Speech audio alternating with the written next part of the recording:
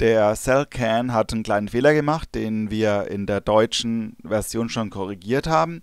Ich habe jetzt aber das trotzdem nochmal gemacht, weil ich das Thema doch recht interessant fand. Und zwar ging es um das Wasserstoffperoxid.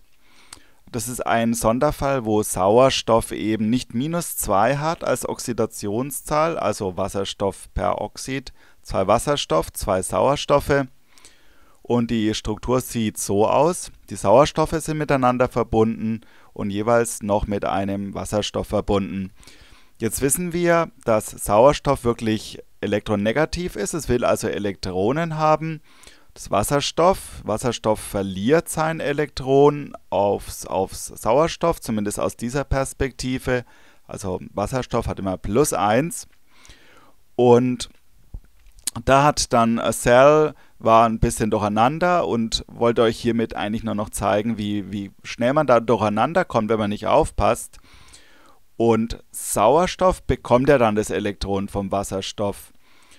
Und in Wirklichkeit ist es natürlich so, Sauerstoff bekommt eine Elek Elektron und verliert also hypothetische Ladung und deswegen ist die Oxidationszahl minus 1 bei jedem Sauerstoff.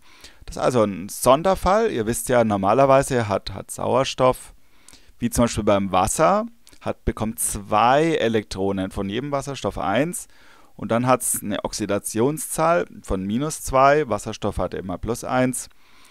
Und in dem Wasserstoffperoxid ist es eben ein Sonderfall vom Wasserstoffperoxid ist, hat Sauerstoff minus 1 und nicht minus 2.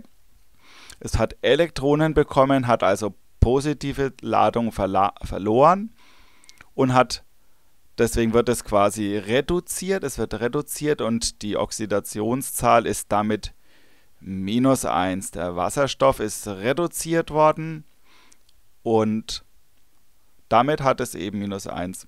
Plus 1 Wasserstoff, Sauerstoff minus 1 zweimal und es addiert sich insgesamt auf eben 0, was ein neutrales Atom ist.